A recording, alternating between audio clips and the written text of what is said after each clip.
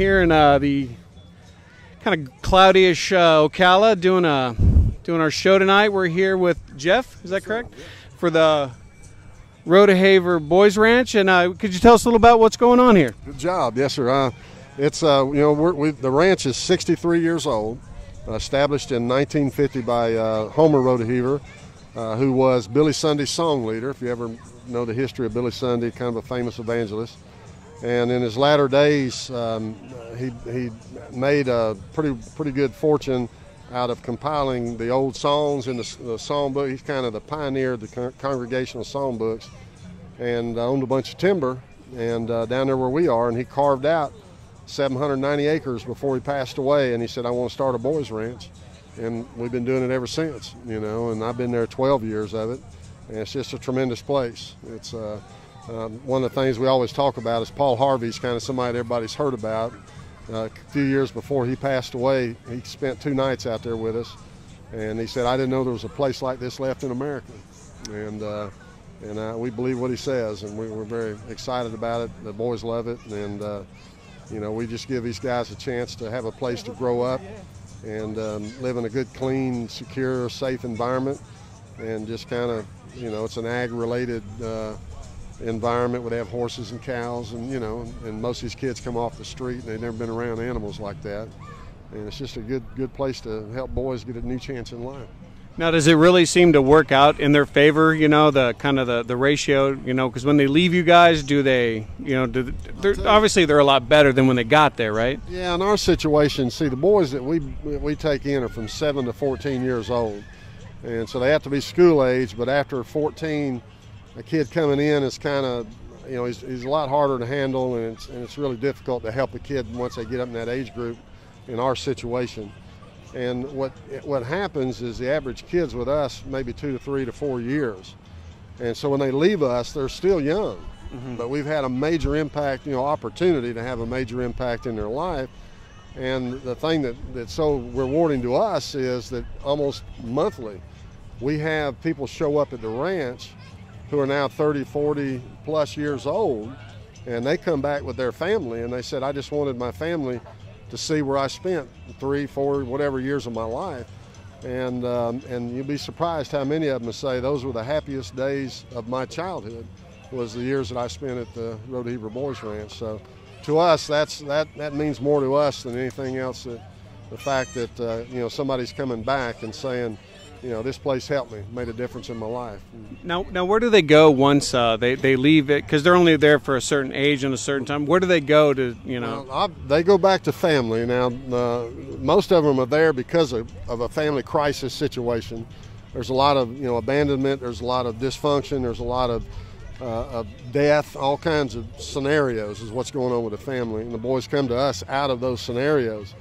And within a three to four year period of time, there's dynamics changing within their family, so they're always going back to some element of that same family, and that's why you just never know what the results are going to be. That's why, when, until that adult comes back and says, "Let me tell you the rest of my story," you just you know you just have to have faith that while you have them, that you have an, an opportunity to make an impact that will go with that child, and when they start making decisions on their own, they can remember back like these guys to the years that they spent there on the ranch. Okay. And that's our hope. And you build kind of a strong Christian foundation. It's a, it's, it is a Christian organization. Uh, you know, we're kind of we're very community involved. Uh, we're not what you call uh, so heavenly minded that we're no earthly good type. You know, we we we're very practical in our approach, but it is a it is a, an old fashioned environment. Uh, it's basically it's the way kids were raised back in the 50s. You know as much as possible mm-hmm. within the environment that we have now. But uh, we're blessed and uh, we love it. And, um, you know, we have people that are uh, extremely dedicated staff. They, they could be doing a lot of things other places, making a lot more money than they make working at the ranch with us. But it's, it's kind of like a calling, you know, and it's something that they believe that you know the Lord wants them to do to make a difference. And these guys build cars and, and, and do stuff like that. Is that correct, or repair them? Or yeah, not a lot of that um, because uh, obviously our car program is a fundraiser. It's a way for us to fund our uh, our monthly bills, and so we can't afford to put much in them. So and we only sell a dealer. So basically, the work that they do on them is cleaning the cars, maybe changing tires, putting a small part on or something like that. They don't get heavily involved in it uh, because um, you know we just financially it wouldn't produce income that much for us. But uh, but they're involved in all kind of tech opportunities, and you know we got woodworking uh, guys on the ranch that are very good at woodworking, welding. A lot of our boys, for and it's just kind of a thing that just happens. But there's a lot of our guys that really get into welding, head that direction. Uh, most of our boys are, you know, they're either end up in the military or they end up in some kind of vocational training scenario down the road. Oh, that, that's awesome. That, that, it's nice to see that there's actually stuff like that left. You know, in, in in the words of Paul Harvey, you know, that there's still stuff left here like that. You know what I'm saying? What we tell everybody is our kind of our motto is, uh, you know, you know, you know the story about Oz. Mm-hmm. You know, and uh, we want Oz to be Oz. We want when somebody looks behind the curtain, we want them to see the reality of what's really happening. That means more to us than what we can project on the outside. Strictly from a fundraising scenario, you know, we need all the money we can get. It's all private funded. We don't, you know, it's it's a it's a battle we live with every day.